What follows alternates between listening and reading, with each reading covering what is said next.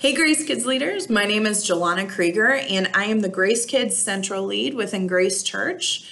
And today's hot topic of what we're going to focus on is bringing the Bible to life within Grace Church, within Discovery Land, and what that looks like. So, in the email that I'm sending out, I have two links on there of some great articles that gives you some ideas of ways to bring the Bible to life within your classroom. One of the things that they talk about is creative application. Sometimes we can be information dumpers and not create opportunity for application where the kids walk away and have something to take tangibly take with them um, a question a statement a simple thing that they're going to remember so that's one thing and the second article is talking about how do we bring the entire Bible to life and why is that important and how much our kids truly understand that. And so that also gives some creative ideas. But what does that look like within our context? So in these short few minutes, I want to give you a couple of the tools that we have, but in addition to that,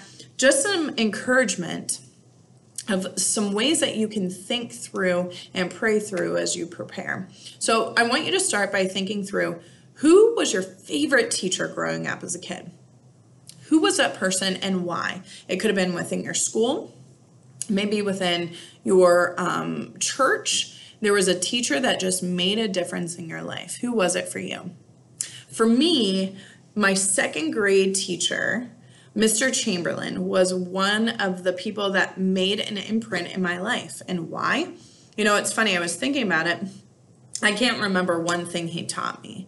I don't remember one nugget or what we focused on in math in um, in school in second grade. But I can tell you that he made me a new student to Colebrook Elementary School feel welcome. He saw me. He played basketball, and so he had nicknames for me, JJ. Um, he involved me within the lessons that he was teaching. On the playground i remember him encouraging me. And as a male teacher that was something unique. But then he also took the time to invest in me. He asked questions. He involved my parents.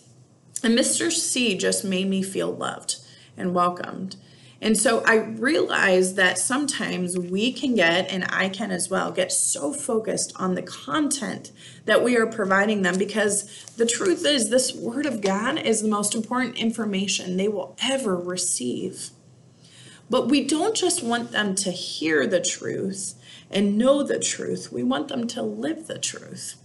And so, if that's the truth, if that's what our goal is, then we need to prayerfully approach that in a very careful way. Um, we've been talking a lot about biblical worldview. So within our curriculum, the Discovery Land curriculum, they go through the Bible every three years. And so if they start in, as a two-year-old going through Scripture and going through Discovery Land, they're going to go through this curriculum three times from two through fifth grade. They're going to go through the Bible three times. And that's a big deal. That's a lot of content to receive. But our goal is that they are passing the baton, and you as leaders are passing the baton from one age to the next, where they're not just continuing to receive it, they're applying it in their lives. And they're able to use that. So by fifth grade, they're able to lead a friend to Christ, not just know what the wordless book is, and not just learn what the gospel is and how um, what the colors mean there are different foundational blocks that they're learning. And so, when you are thinking through how do I prepare my week, I want to encourage you to do three things. On Monday or Tuesday, I want you to take your curriculum and I want you to read through the scripture and pray. So, at the top of your lesson plan, each week there's a box and it has the know think, do, feel. That's the biblical worldview that we're focusing on. know think, do, feel. And then at the top, it has the scripture. Read through that scripture and just pray. Ask God to teach you something new about Himself and about the Word um, that you are reading through. Don't do anything else that day. The next day, so on Wednesday, Tuesday or Wednesday, read through the lesson plan for the week and ask God to reveal something to you. Maybe you learned something new and how they pared it down. Maybe um, you recognized some of the key words that they focused on within the curriculum. Remember, the curriculum is a roadmap, a guide that you can use as a tool to bring it to life. It gives creative ideas in there, all of that. But just read through and again, pray and ask the Holy Spirit to guide you as you're thinking through your students. Then the third day, so Wednesday or Thursday, read through it again. And then make notes. What are ways that you can bring it to life? I have been so guilty of this myself where I can read through the lesson plan and they give some ideas and I'm like, okay, we only have a short amount of time. We're going to do this and we're going to read through and go. But then I've gone home and I've thought, who are the kids that I was able to intentionally ask questions to? What are ways that I involved the kids? Did they spend those 30 minutes, 20 to 30 minutes within that lesson time? Did they um, spend that listening to me? Or did they spend that engaging with the Word of God that I was bringing to life? So, for this lesson, for example, for the September 22nd lesson, we're talking about how King Saul um, tries to kill David. And there, um, for elementary, the think right verse is Proverbs 3, 5, and 6. Trust in the Lord with all your heart. So, our goal is focusing on trust. For a preschool, it's also a DL Top 12 verse, Romans 3, 23. And so the focus is of um, we've all fall, for all have sinned and fall short of the glory of God. The do right for both groups. So this is important. Preschool and elementary children are hearing the same do right point every single week so that when they're going home, they're able to have that conversation with their parents and it's the same thing. So the focus is I will patiently trust God when I have problems. Patience is the focus of the Discover Time this weekend, where the application out of that is we are practicing patience. I don't know about you, but a lot of us, my children, are learning patience in school. They're learning, and me daily, I'm learning what it looks like to trust God and be patient on His timing, not my timing, but God's timing. And so the creative ideas that are in the lesson, so I'm specifically thinking of elementary right now, are to involve the kids in stepping into that scene. So when you're doing that, as they're entering, they should be entering that classroom from their Discover time, stepping into something that is totally different. It's not just a classroom setting where they're going to sit and learn. Maybe you've created and transformed your classroom into a cave. Maybe you have wigs that are sitting out and you are inviting them. They don't know yet, but you're inviting them to participate in bringing it to life. So somebody's going to be King Saul, somebody's going to be David. Um, maybe you're inviting them. Uh, you have different pictures and it's a scavenger hunt that they're on the search for what is next. Maybe you draw on a whiteboard and you have a comic strip scene where you fill in the blank and maybe have an artist within your class um, fill in the next comic strip within that time. Whatever it is, encourage them to participate in that. We don't want them to just be sitting there receiving all of the information. We want them to be able to tangibly do something with it.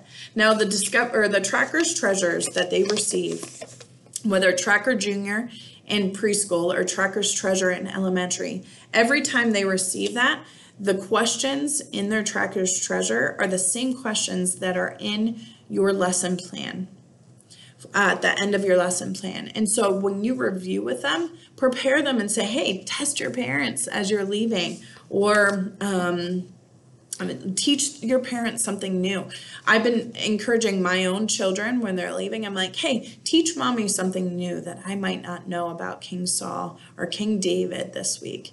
Um, you you're learning about friendship. Teach me about that.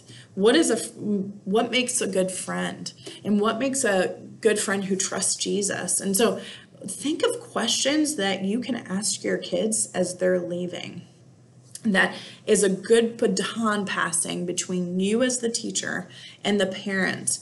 Um, because the reality is, Parents are with their kids maybe 3,000 hours a year.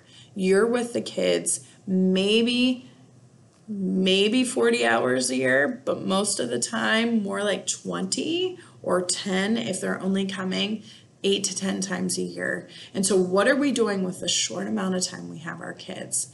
You are making a difference and we just want to encourage you today to really creatively and prayerfully seek through ways that you can bring the Bible to life. Do not read script for script. Now, let me let me tell you this. Opening up your Bible with the kids is a very special thing. It's really important to be able to do that.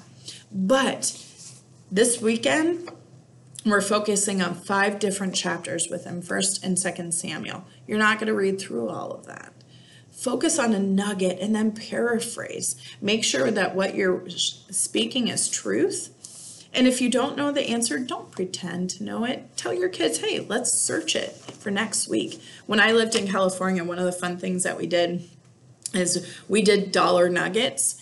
And so we focused on trying to stump the kids each week with some random fact about um, the scripture that we were going to be reading about. And it could have been the place that we were studying, it could have been a did you know fact about King Saul or King David.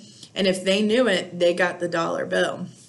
And it was just so much fun because the kids came anticipating learning something new. So as you prayerfully bring it to life, start off by praying and asking God to teach you something new about it. And then get to the place where you are challenging your kids to own it because they're only with you for a short amount of time. But you want to bring it to life where they want to seek God's word the rest of their lives.